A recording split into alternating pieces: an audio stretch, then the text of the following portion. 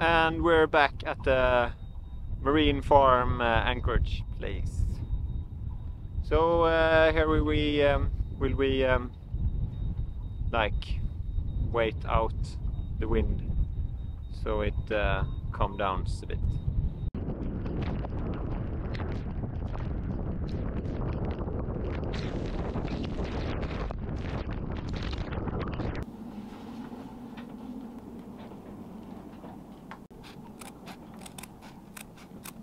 We have been using this old uh, dinghy sail as an anchor sail uh, the past uh, few times that we have anchored in quite hard winds.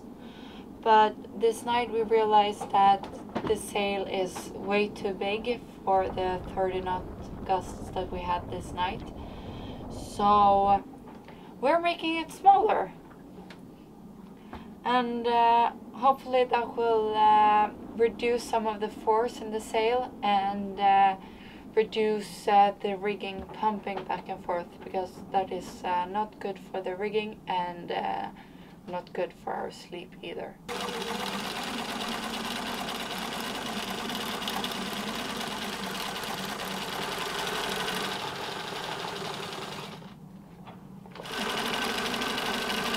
I'm the one at the sewing machine. Um, I have never um, like sewn a sail before. I have done some small canvas work, uh, but not sail. So we try to copy the reinforcements and stuff on uh, the previous uh, sail, and uh, yeah, try to do as as like as possible. We will see if we, if it holds up in the 30 knots gusts. Uh, because we cut down the sail uh, in that seam we had to take off the old leech uh, with all yeah these old hinges. So uh, we instead attach uh, like a webbing uh, instead of these uh, like brass hinges. This is also good because you cannot like be in damage of them so you, you cannot get injured since they're very soft so we done that with all ends with this soft webbing instead. We're now finished with the anchor sail, I hope. Uh, we have cut down and uh, like a small dinghy jib uh, from 3 uh, square meters to 2. Uh, we just cut it in one of the seams so uh, yeah now it's one square meter less and that's more uh, yeah typical anchor sail size for our boat. So hopefully it uh, will turn out good.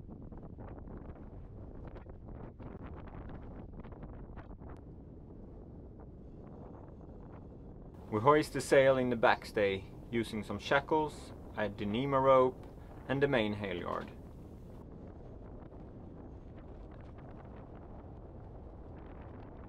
The sheeting point is as close to the center line of the boat as possible.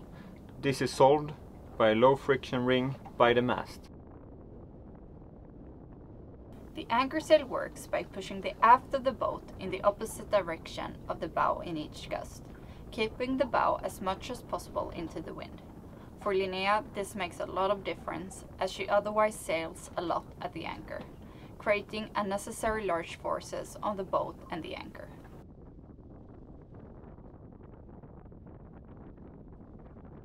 The anchor sail reduces these forces as it minimizes the swinging from side to side, reducing the risk of something breaking and also making it more comfortable down below.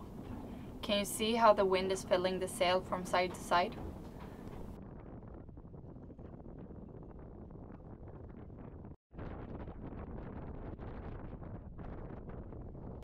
The anchor sail is up and overall it's very successful uh, sewing session today.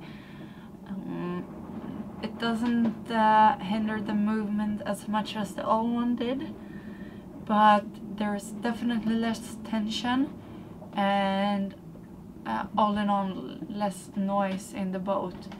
So um, uh, it's doing its thing, it's keeping us more up it to the wind and um, it uh, looks like it uh, will hold in this uh, really really bad weather. So uh, thumbs up and now it's time for dinner.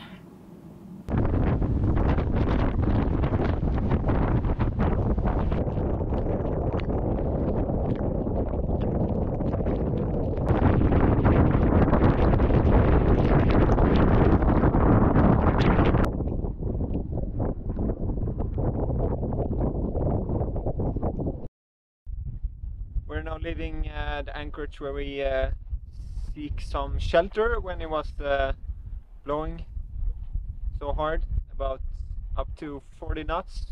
We had uh, the most, and now we're going to one of the um, national park islands, just eight miles from here. Uh, hopefully, it will be a nice anchorage and a nice place to uh, throw the hook.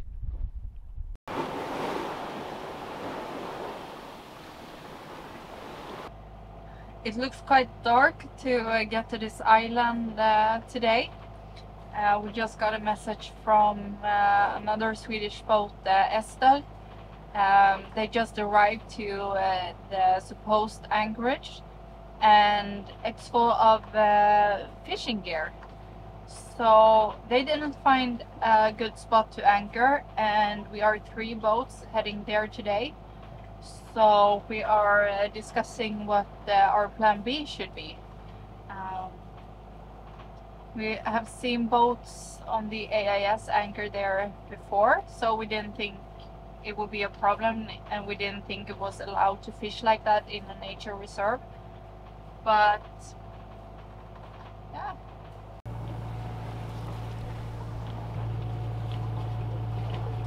The Norwegian boat tried to drop their anchor uh, outside the island, but uh, they ended up uh, way too close to shore if uh, they were going to stay clear of the fishing nets. So uh, we are all going to the next RIA instead.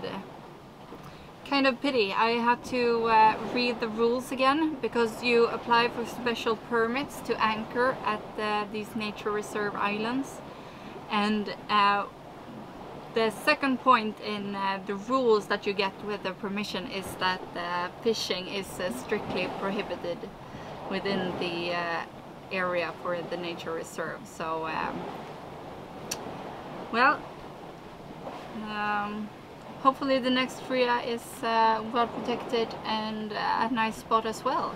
And we can actually do some sailing.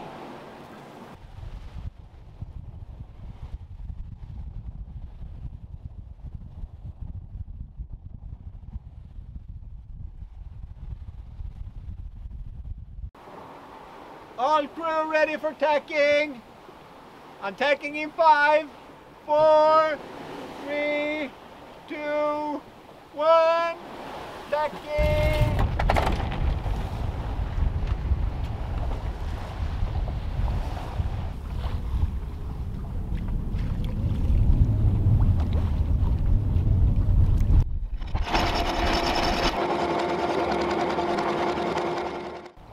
We only de Aldán for the night, before heading out to the Cíes Islands, another part of the Galicia Atlantic Islands National Park.